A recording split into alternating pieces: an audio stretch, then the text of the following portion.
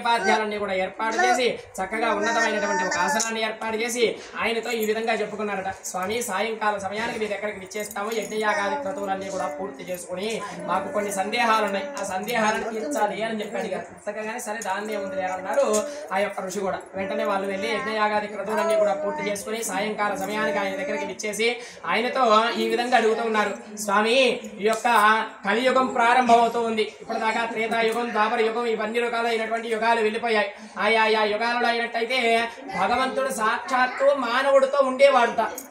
కానీ ఇప్పుడు ఉండేటువంటి కలియుగం చేత కలి దాపరిత్రం చేత మన యొక్క ధర్మం అనేటువంటిది పూర్తిగా నశించిపోయింది. ఇప్పుడు ధర్మం ఒక్క పాదం మీద మాత్రమే నటిస్తుంది నడుస్తూ ఉంది. కాబట్టి అటువంటి తత్వము చేరినప్పుడు భగవంతుడు కూడా మనతో ఉండడు.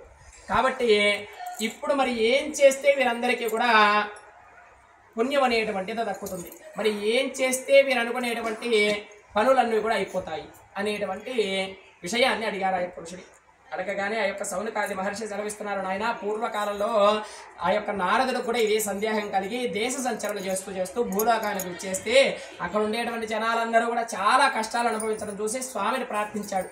అలా ప్రార్థించగానే భగవంతుడు ప్రత్యక్షమయ్యాడు.